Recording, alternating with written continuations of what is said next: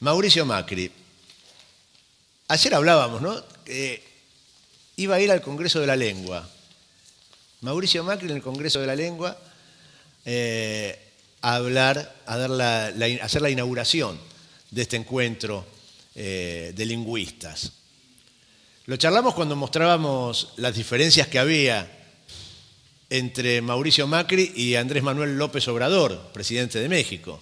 O sea, las diferencias que, que van de un presidente digno como el mexicano, con dignidad, que entiende lo que es la historia de su pueblo y la soberanía de su nación, y la de un genuflexo como el que preside los destinos de la República Argentina.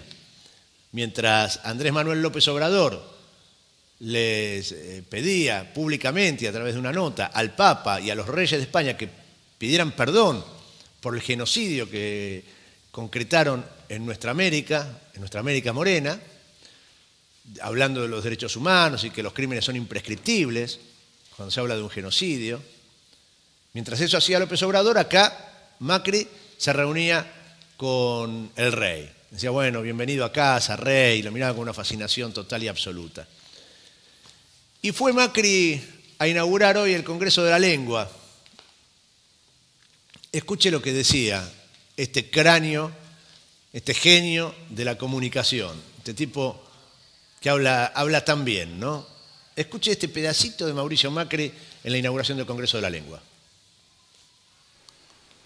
No nos olvidemos de que la primera vuelta al mundo, una de las grandes gestas de la humanidad, fue una hazaña española, ya que la expedición comandada por Juan Sebastián Elcano tras la muerte de Fernando de Magallanes fue financiada por la corona española.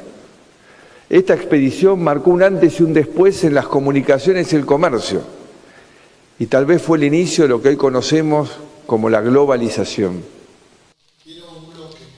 Ahí este, lo veíamos a, Macri, ¿no? Inaugurando junto a los reyes de España y dice, no nos olvidemos de la primer gran vuelta al mundo. Claro, es el Congreso Internacional de la Lengua, y lo primero que hace Macri es hablar mal, porque no es la primer gran vuelta al mundo. No nos olvidemos de la primera, no, es de la primera gran vuelta al mundo.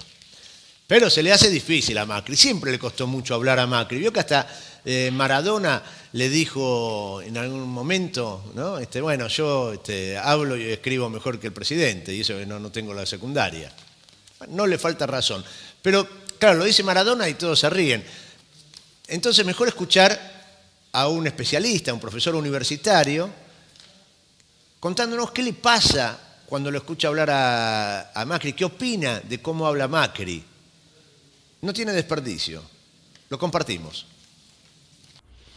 Entre el presidente de la nación y el lenguaje hay un cúmulo de dificultades incalculable.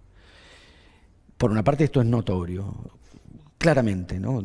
claramente, no, no, no, no hay demasiadas posibilidades. Cada, cada oración uno la escucha con la zozobra de, de vacilar de si verdaderamente va a poder, tanto en lo sintáctico como en lo conceptual, llegar hasta el final de esa, no digamos el párrafo, no digamos el discurso, que duran seis o siete minutos. Al final de la oración, alguna vez he llegado hasta pensar a propósito de un discurso que el sí se puede era una manera de darle aliento a, a que cada una de las ideas iba a poder redondearse y llegar yo por lo menos tengo esa impresión, que en esos los discursos presidenciales los pienso como alguien que está cruzando un río de lado a lado y está todo el tiempo con la idea de que salió de una orilla, que sería el comienzo de la, de la oración, estoy diciendo, no el discurso ni del párrafo.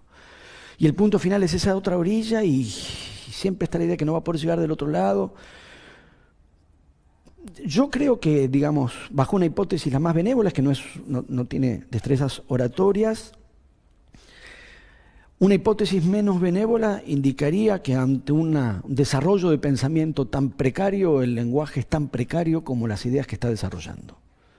Lleva el lenguaje un estado de precariedad porque lleva el pensamiento un estado de precariedad. Ese lenguaje en estado de precariedad lleva al pensamiento en estado de precariedad.